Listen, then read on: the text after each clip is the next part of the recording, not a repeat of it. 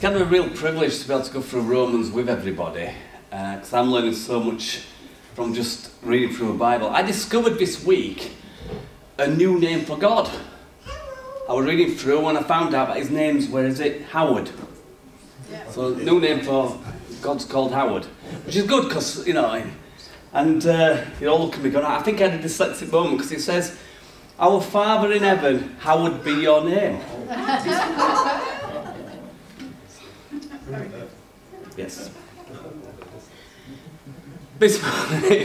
This morning, I just want to talk about. Last week, I looked at the fact that we all suffer, and Paul's talking about persecution generally in Romans 5, but facts of life are that everybody, whether Christian, non Christian, goes through times of trials, trouble, storms, battles, whatever words you want to call that, it's kind of summed up in the fact that we all go through stuff. So today I just want to look at the purpose of suffering from Paul's perspective and a biblical perspective on it because if you don't know the purpose, you'll struggle with rejoicing in the suffering if you don't know the why behind what's going on, or at least the, the end goal. Suffering is something we will see all around us. Turn the news on, look around, you've got relative neighbours, friends who are all going through some at different times. They have their own superstitions and their issues, and they do things to try and alleviate that. And yet, even for Christians, we go through times of trials and tribulations, and the Bible says that it shouldn't surprise us. In fact, realistically, the Christians will tend to go through more, not because God's against them, but because the devil's against them. So we need to take a stand. Often the songs that we've been singing this morning have all been about standing and, and focusing on Jesus. We were, you know, I don't mean to um, encourage people too far. I like to encourage people, but I don't want to worry you. But we've all been through times of suffering, whether that's in the body, physically, in the, the mind, you know, I mean, mentally, or even in the heart, emotionally. We've, we've all gone through times like that when things haven't turned out the way we want, and it's led to a time of battle or struggle. You know, there'll be people that you know right now are going through times, uh, going through a time of something going on in their life. That we often ask you to pray with them or stand with them. And this is where I don't want to worry you, and I need to be honest, but there will be trouble ahead. There will be trouble ahead. It's going to happen. And it's not a prophetic word, it's just that's life. Until Jesus returns, there's always going to be trouble. Things will never go according to our plan. And there's several reasons for that. One is because we don't know the future, we don't know the people, but God says He'll be with us in the situation. And we don't know everything that's coming on. Trouble, battle, suffering will cause us to do one of two things. Either we will run to Jesus to take refuge and to stand in Him using His strength, because He says, stand in His mighty power, not in ours. So we stand in His mighty power. So we either run to Jesus or people tend to sometimes walk away from Jesus. The reason why the devil uses trials, tribulations, sufferings, and things like that is to try and get people to walk away. But I think that's a it's, it's almost senseless that people walk away from Jesus. Why? Because they're still suffering.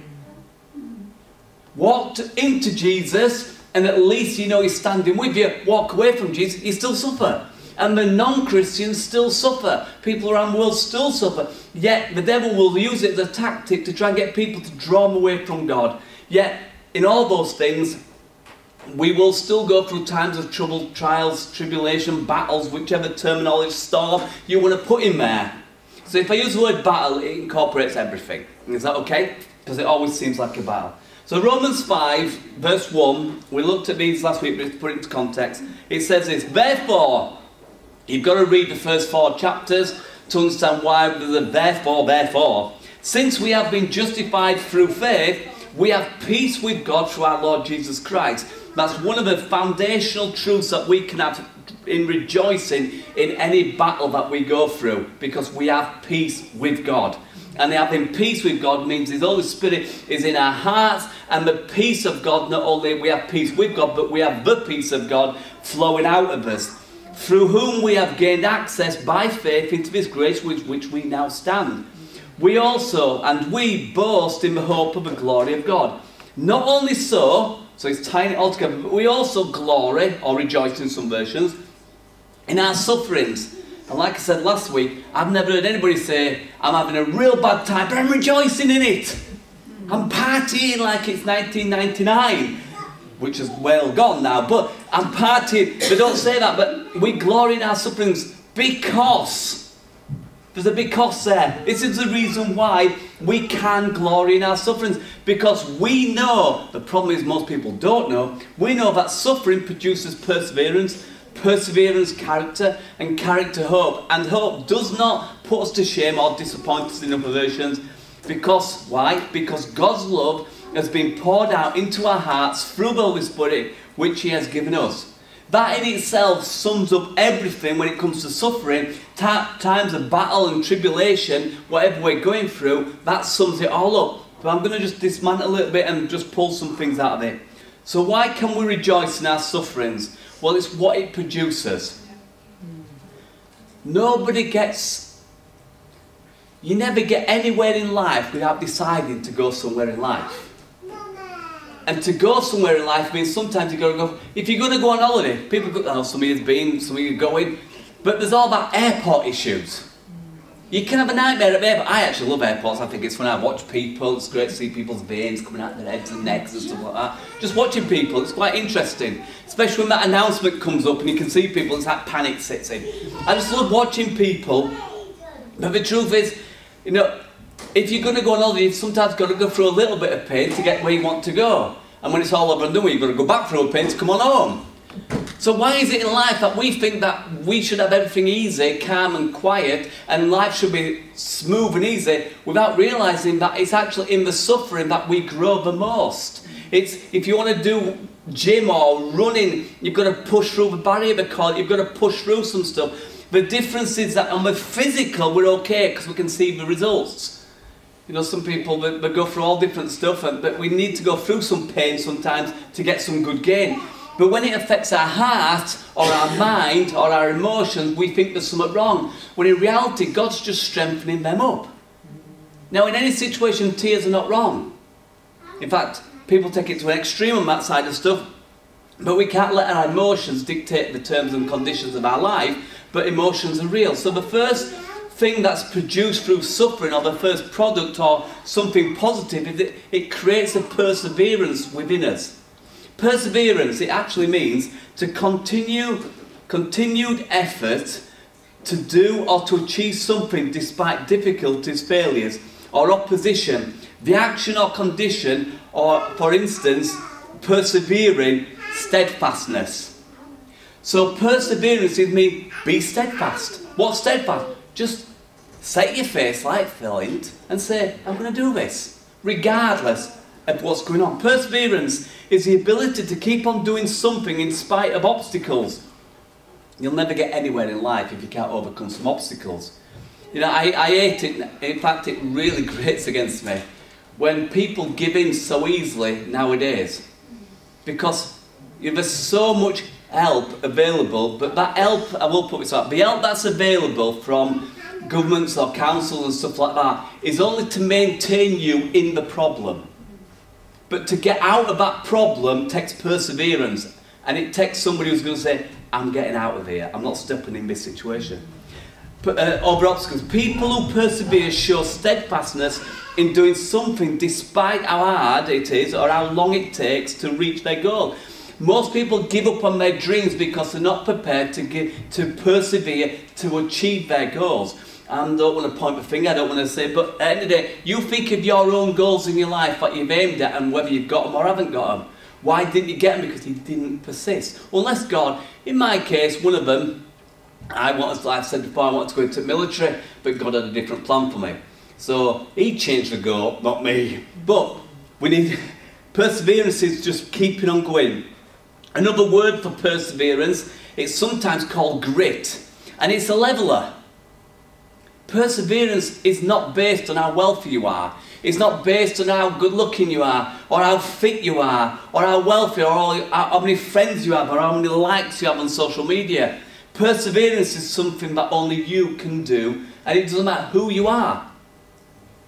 To persevere is down to you and you alone. But if you do persevere, you will always reach your goals. People who don't persevere, never. But they're the ones that often talk about what they wish would happen. You know, God's not a God of wishes.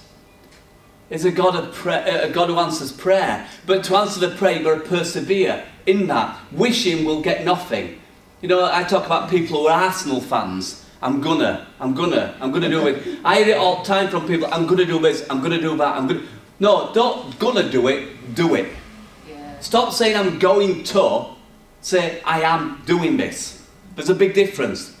And sometimes God will allow something to come upon us or to be around us or be there. The devil attacks it. I'm not saying God takes his hand off. I'm just terminology. I'm trying to put it across in a way.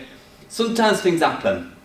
The devil attacks. And when you get sick of the devil attacking, then that will cause a perseverance in you to say enough's enough, to get out of that situation. The problem is that some people become comfortable in the situation because they, they don't have perseverance. So where have I got to? Perseverance is not just, um, it, it, it is crucial for your spiritual walk, but it's also in all areas of our life.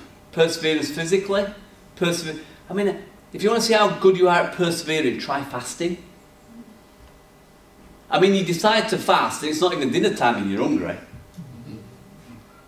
I mean, never talk about two days, three days, four days, ten days. I mean, your stomach thinks you've had your head cut off. But you need to persevere through on these things. So, it is spiritual, it's also physical. We need to persevere in the physical. We also need to persevere in what we believe in. And that's for Christians and non-Christians. Even non-Christians need to have perseverance in their life. We're in a culture nowadays where if I don't get it now, now, I want it now, because the government says you can have it now, and if you don't, you know, we can help you get it now. Credit systems is about now. Where God's system is, you can have it later. But we want it now. Perseverance is, God, I'll wait for when you bring it into my life.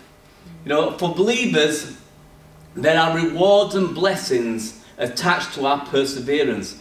If you're going to go through some difficult times right now, if you're going through some difficult times right now, know that God is faithful and it may not seem like it, and he may, he may even feel distant, but he's faithful. See, God would never ask any of us to do anything that he wouldn't do himself. And he sent his son who persevered for 30 years before he even went into ministry, under the shame of the whole thing that he was surrounded by, and then endured everything, run right to the cross and went there for me and you. He persevered. God perseveres with mankind. He's patient and long suffering, the Bible says, towards mankind, towards you and towards me. Yet he loves us so much. David, I think, is a brilliant guy. And in Psalm 23 talks about, even though I walk through the valley of the shadow of death, uh, I will not fear because I know that you're with me. Even though I walk through, not camping, there's a big difference. You know, we'll all go through stuff, but it's up to you and up to me about how long we go through something. And I know this, if you want to come out of something very fast, start rejoicing in the problem. Yeah. Start praising in the problem. It's not that the problem will change, but your perspective of the problem will change, and the suffering won't affect you as much as what you thought it would, and you'll come out of it Amen. rejoicing because you started rejoicing before it happened. And in fact, you're probably still in it, but you don't realise you're still in it because you rejoice anyway because you took your eyes off the problem and started looking at Jesus. Amen. And people go, Are you alright? Are you alright in this problem? Well, I didn't have a problem now because I'm talking to Jesus. Oh, you must have it rough. I've got it rough worshipping Jesus. I've got it rough just serving Him. Hebrews 12 says this Therefore, since we're surrounded by such a great cloud of witnesses, that is everybody that's gone before us, the Hebrews 11 talks about the all of faith, all, all the guys that stood there, or women looking over from heaven, it seems, looking at us. Since we're surrounded by such a great crowd of litters, let us throw off everything that hinders us. The things that hinder you may not be wrong things and bad things, it may just be things. You need to get rid of perspective and the sin that so easily entangles us, get rid of the sin as well, and let us run with perseverance the race marked before us, fixing our eyes upon Jesus, a pioneer and perfecter of our faith.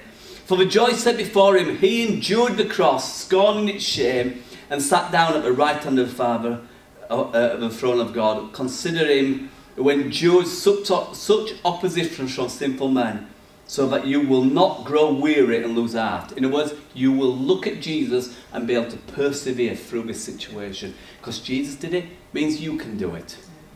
And he's, if he's done it, and it's in his strength that we do it, that means we will get through it. And you've all got through everything up to press. You survived everything up to press.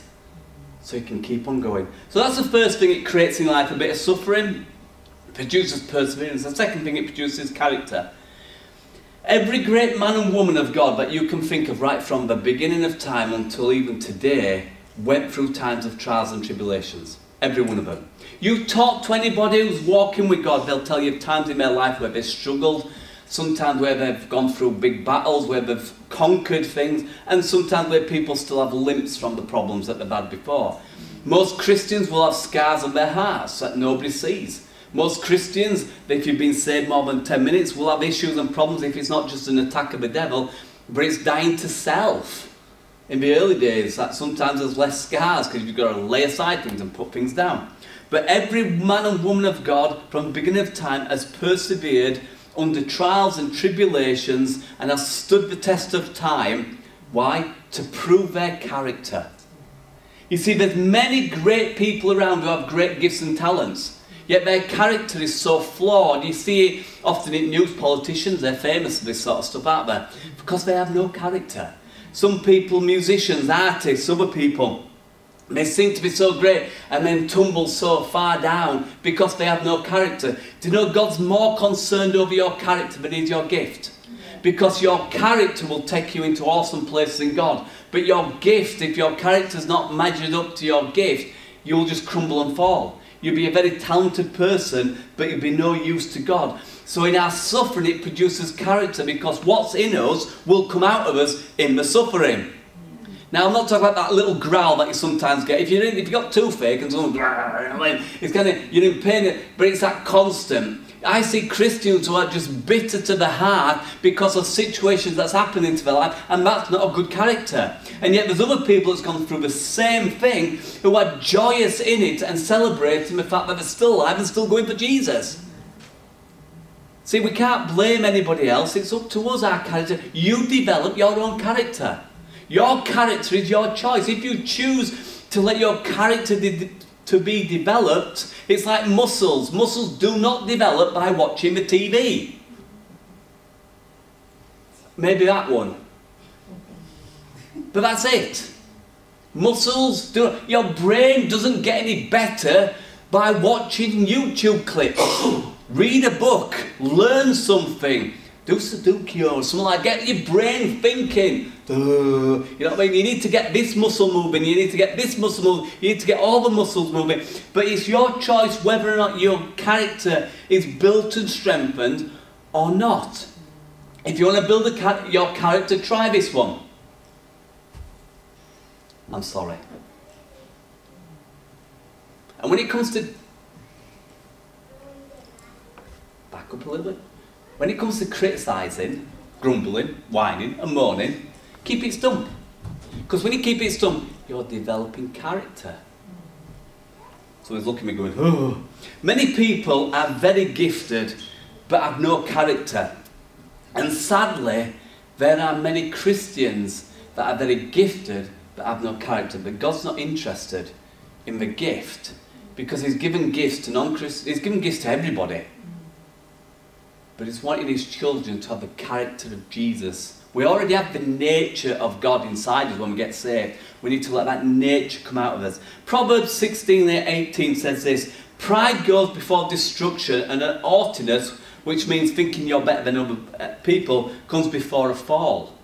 The reason why people seem to rise so high and so fast and then collapse down is because of pride and haughtiness. They think they're better because they've got no character.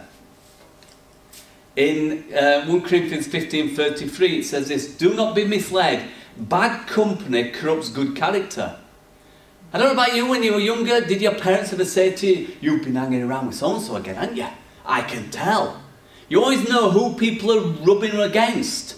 I can often tell when people have been with other people because They bring some of their habits on because bad company corrupts good character. But it works both ways. Good company builds up character. I can always tell when people spend time with Jesus because you can see or you can sense Jesus' character coming through. But I can also tell when people haven't spent time with Jesus in a long time because all I'm getting is, is sometimes negativity, but the worldly stuff, fleshly things. It may not be wrong, but it's just not the sense of Jesus. So, the first pur- purpose of suffering is to build up our perseverance. Keep on going. If you want to run a race, if you want to run a marathon, don't try running it in one go. Start off by at least walking to the shop. And maybe jogging a little bit more. And before you know it, you'll be up to 10 miles, 15 miles. But if you never decide to run to the shop, you're never going to get 26 miles, are you? Until you decide to take that first little step. Stop saying I cannot achieve that, I can't persevere to that. Just take the first step, which is a little step. Simple as that. Somebody once told me I ought to start reading a dictionary. This is when I was young and I never did. Sometimes I look back and think, you know what, he had some good advice. Read the dictionary, learn new words. The problem is I can learn new words, but they always come out when they should. And sometimes I don't pronounce them. You know, I might spell check. The first one that comes into my head, it pops out. So the first reason is that God wants to build up perseverance. The second purpose of suffering is that it builds our character. And the third one is hope. And the Bible says that and the hope does not disappoint us. In 2 Timothy 4, 7 and 8 it says this, I have fought the good fight, I have finished the race, I have kept the faith, there is in store for me a crown of righteousness, which the Lord, the righteous judge, will award me on that day. Not only me, but also all those who long for his returning. Paul's writing towards the end of his life. He knows he's not got long. He's um, in a prison cell, and he said, I have fought the good fight, I have finished the race. He's got there. He's just ready to go home now. And he said, But now there is in store for me a crown of righteousness. You see, we have a hope in the future. We have blessings for the now. And we've got forgiveness of the past. The shame has gone. So we have hope of the future, blessings for today, and the past has gone. And that's why in our times of trouble, we know that Jesus is with us, so we can persevere through things. We can develop our character by choosing to say and do the right thing, even under persecution, trouble, and trials. And because we have hope. What's the hope? The hope of what's to come. The hope of, we know that Jesus is with us, but our hope is that one day we'll spend eternity with Him. That's the hope, the hope of the future. In Romans 8:37 it says this, in all these things we are more than conquerors through him who loved us. So now we are more than conquerors. So what's the hope? I'm more than a conqueror means I'm going to get through this. I'm going to get through this. I'm going to stand tall. I'm going to be good in the situation. I'm going to worship and praise him in the situation. Why? Because I'm a conqueror. Any warrior that you've ever seen, there's a big difference between a soldier and a warrior. A soldier will go and do the training he has to do. So that's the Christians who only do what's right when the pastor's there. Yes, sir, I'll do what the pastor tells me. The is one who goes, I'll do what the pastor tells me and I'll do more. Because they want to strengthen, they want to build, they want to encourage. The warrior is the one who stands in the gap for other people. The soldier is the one who helps the people move along. The warrior is the one who says, I will stay here. Why? Because I can persevere. I have a character of strength inside. I am more than a conqueror. I will fill in the gap for Je- and stand in the way between people and Jesus. Even though He is our mediator, don't get that confused with I am not a priest. You don't have to come to me to get to Jesus. But there is times when you need somebody to stand in the gap for you. So we are more than conquerors. There's a great verse. That's sarcasm in the Bible. If you've not come across any verses that kind of wind you I've got one. I'm going to get into it now. It says this 2 Corinthians 4 13 to 18 says, Since we have this same spirit of faith, we also believe, therefore, and speak, because we know that the one who raised the Lord Jesus from the dead will also raise us with Jesus and present us to himself. That's the hope we've got. He's going to raise up and present us to himself. All this is for your benefit so that the grace that is reaching more and more people will cause thanksgiving to overflow with the glory of God. Now, none of that's me, that's brilliant, but we need to be thankful, thanksgiving for the glory of God. Therefore, do not lose out. But outwardly, we are wasting away, yet inwardly, we are renewed day by day. This is the verse. For our light and momentary troubles are achieving for us eternal glory that will far outweigh them all. Our light and momentary. Well, compared to God, they are. And Paul says, our light and momentary. Looking at what, what Paul went through, his light and momentary problems. Shipwreck, beaten, stone, you know, raced out of place, lowered down a rope out of the city because they're going to kill him. Death threats at daytime, death threats at night time. You know, starvation at some points, fed at other points. You know, people grumbling, religious people after him, and we think we've got problems. And he says this, our light and momentary, why? Compared to eternity, our biggest problem is nothing. If your biggest problem is a speck on this top here, eternity past goes on forever, eternity future goes on forever, and your little problem's right there. It's nothing compared to what's ahead of us. Why? Because we're more than conquerors. But not that, it continues. I like to momentary troubles uh, have an eternal glory that will outweigh them all. That means all our problems, we've got some ahead of us that will shine so bright it'll become, our problems will become irrelevant, will become just a vague dream. So let us fix our eyes not on what is seen, but what is unseen, so that what is seen is temporary, but what is unseen is to, we need to set our eyes on Jesus, the author and the perfecter of our faith. It says, looking unto Jesus, who is the author and finisher of our faith. That's why we've got hope, because we look at Jesus, and what he starts, he finishes. It says in Philippians 1 6, he says, being confident of this. That's where I get my confidence from. Be confident of this uh, this very thing that he who began a good work in you will complete it until the day of Jesus Christ. So that means to me, what he started, he'll finish. Yeah. So it don't matter. You know, if people think I'm ugly, it don't matter. If I lose everything, it don't matter. It don't matter what happens. If I go hungry, if I'm well fed, it don't matter. Because I know that what Jesus started, he will finish. And what he's promised me, it will happen. So you need to seek God and persevere in prayer to find out what God's got for you down here so that you can push through with the hope of what's ahead of you. But when you get a promise from God, everything else becomes secondary. That's why you can go through trouble, trials and tribulations. That's why you can sail through the storm looking like you're a complete nutter because you're at the front of the boat going, this is brilliant, while everybody else is thrown up over the side, screaming death and we're, go- we're going to die. And you're like going, this is great, because you know you're going to get through it. Why? Because Jesus has promised you you're going to get through it. He's also promised that He's going to finish something inside you. So, the first pers- purpose of suffering, battles, tribulation is the fact that we need to, it's for our perseverance. The second is for our character. The third purpose for us going through times of suffering is so it gives us hope. How can you have hope in suffering? The truth is that it's only in times of trouble when you can appreciate what God is doing for you. Because when everything's good, you don't you just ignore him. You don't need Jesus when everything's fine. You need Jesus when it's a problem. Now, you actually need him in the fine times as well as the not so fine times. It's just that when it's not going so good, that's when you're more likely to cry out to him. So God just says, you know what? I'm going to bless you, but if you step out from my blessings, you're going to get wet. The umbrella thing, if it's raining, you're under umbrella, you're okay. If you step out, you get wet. But in Jesus, even if we go through a battle, He's going to be with us. He's equipped us. He's empowered us. He's enabled us to stand. Romans 5 5 says this Now the hope does not disappoint us. Why? Because the love of God has been poured in our hearts by the Holy Spirit who has now given us.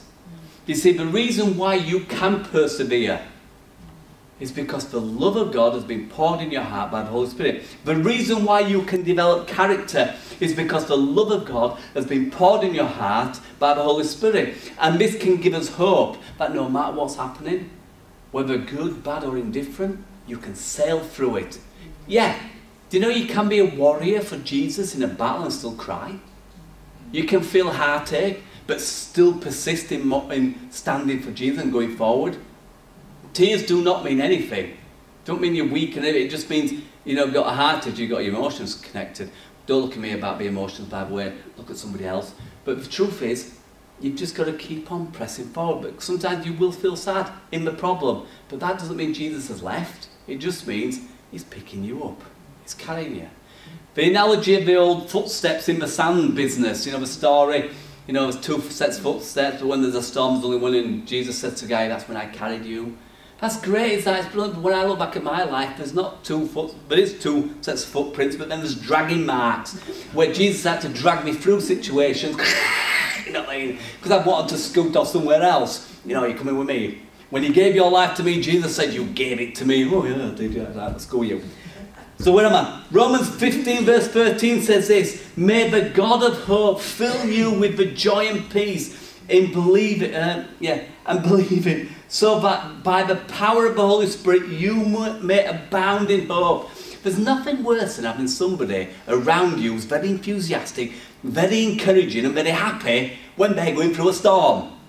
Because you want a sucky thumb, sit down and let them come to your misery party but they don't want to be there. They just want to carry on. Whoa, let's keep going. But your life's a mess. Yeah, but there's better things ahead. You know, you're going through trouble. Yeah, but it's not forever. You're in a storm. It's not forever. You know, people give up too much too fast, too quickly. Jesus just persists longer. We've got too many things in place that can get us out of it. Get me out of here, I'm a Christian. Go on. You know, too many people can walk away. There's, there's very little commitment to families, to spouses, to, to people, to jobs, to careers, that sort. There's very little commitment.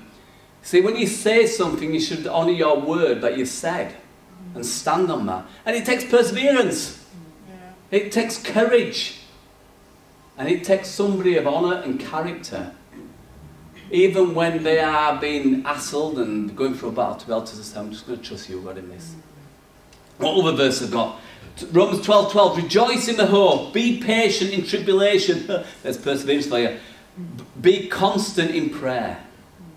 Another one, Romans 8, 28, this is a great one, is this. And we know, I don't know if we know, but I know. So I don't know if we know as a whole, but I know that in all things God works for the good of those who love Him, who have been called according to His purpose. See, I've called according to his purpose. That's why I'm going through times of tribulation, trial and, and stuff. And that's not marriage. That's just having somebody alongside me that can stand with me. So don't all look at Joe thinking, she, she's not my problem. She's my strength. Hmm. All right, dear? but people blame instead of saying they're my strength. So we know, I know, that in all things God works together for those who love him. Hmm. So it's kind of been an interesting run through and I literally, there's a lot more I could take into those areas.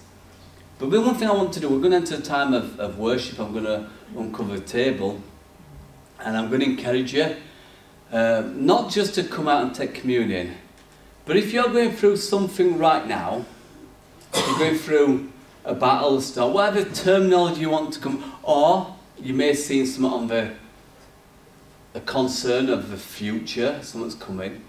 Then in the worship, you don't need me to pray for you. Jesus is here by His Holy Spirit. And in the worship, the songs that I've picked at the beginning are deliberate. The songs we've got next are deliberate. Talk to Jesus about it. In you don't have to talk to him in your heart about it. Tell him problem. But then ask somebody. Just say, "Will you stand with me?" and pray. You don't have to don't tell them everything. Don't even don't even ask the person. If they say, "Will you pray for me?" Don't ask them what the problem is. If they tell you, great, but don't go trying to force it. Just will you stamp with me and just pray with me right now? That's it. Because you're the body of Christ. It's not my job to do it all. My job to train you guys to do it. And you're the body of Christ, so you can stand with one another, and your prayers are as effective as mine as powerful as mine. So we're just going to spend some, there's, I know, four, five songs, so there's no rush. But in that, when you've talked to God about whatever's going on, come and take communion. We've got half an hour. So don't rush out, but you can bring it before God. I really sense that God's wanting to touch hearts, but some people rely on other people way too much. And God said, I just want to, I want to talk to you about you. And I want you to talk to me, said Jesus, about you. What's really going on in your heart? I know and I know that when we start digging into these areas, the one thing God's going to point out in people's hearts is if there's pride there, He's going to deal with that. Why? Because He's got He wants your character to grow. He wants you to grow strong, and pride and haughtiness is not good for the character. Some people's given up on your dreams and hopes and what you thought God would do and wouldn't do. In this time, why don't you just say, God, is that still available? Is it, is it still there? I'm going through a battle, God, but is my dream still on the table? Is my hope still there before you? Is it something that I can reach for? once more. You may be looking at someone in the future going, I'm not quite sure how I got, can get through that. Jesus would remind you, you've got through everything up to press. You've overcome lions and bears, a metaphor from obviously David's time. You've overcome these things already. So it's time to just go, look it in the eyes and say, I'm going to take you down. When it growls, just growl back not in Jesus, of course. But in this time of worship, I just want to just say to you, just let it become between. I'm all for corporate. I, I, I think the body of Christ, we're all one, we affect each other and stuff like that. But there's those moments where it just needs to be you and Jesus. It needs to be not what somebody else is doing, not what someone else is saying, but you and Jesus. So in this time, talk to him. There's plenty, of, there's, like I said, there's a few songs and the worshipful songs, but it helps us focus on Jesus. So in this time, if you do want prayer, you grab somebody. To somebody says, stand with me. You're all capable